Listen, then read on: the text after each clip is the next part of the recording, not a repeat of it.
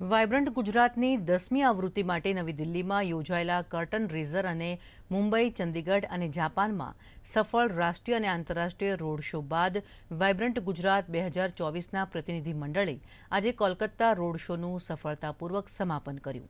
ગુજરાત સરકારના મંત્રી હર્ષ સંઘવીએ આ રોડ શોમાં ગુજરાત સરકારનું પ્રતિનિધિત્વ કર્યું હતું. આ પ્રસંગે ગુજરાત સરકારના અધિકારીઓ સહિત ઉદ્યોગ જગતની પ્રતિષ્ઠિત હસ્તીઓ ઉપસ્થિત રહી હતી.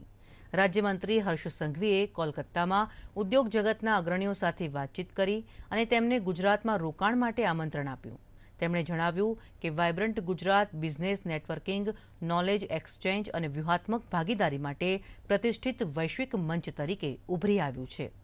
ગુજરાતનું ઔદ્યોગિક માળખું, અનુકૂળ નીતિઓ અને ઉદ્યોગ મૈત્રીપૂર્ણ અભિગમ, પશ્ચિમ બંગાળ, ગુજરાત અને આપણા દેશ માટે ફાયદાકારક રહેશે.